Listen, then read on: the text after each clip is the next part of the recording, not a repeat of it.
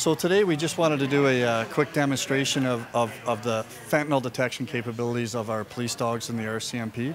So what we had today was uh, Corporal Dan Block from Red Deer with his dog, uh, police service dog Eve, came out here. We had some uh, real fentanyl samples uh, that, that we've supplying to all our dog teams, uh, all our narcotic dog teams across the country.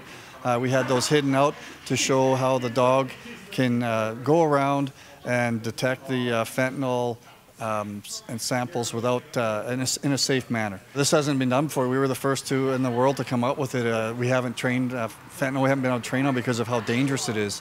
Um, we, we took the, the danger and, and, had a simple solution of being able to take it from a powdered form to a liquid form to make it safe for us uh, or, or, safer for us to handle.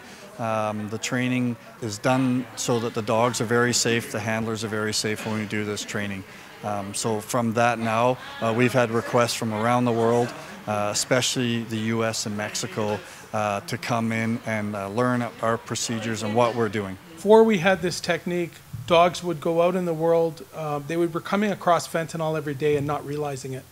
Uh, now that they can detect fentanyl, um, they'll, they'll provide that positive sit confirmation where they won't aggress the hide, they won't pursue to the source. So in fact, it keeps the dogs and the handlers safer.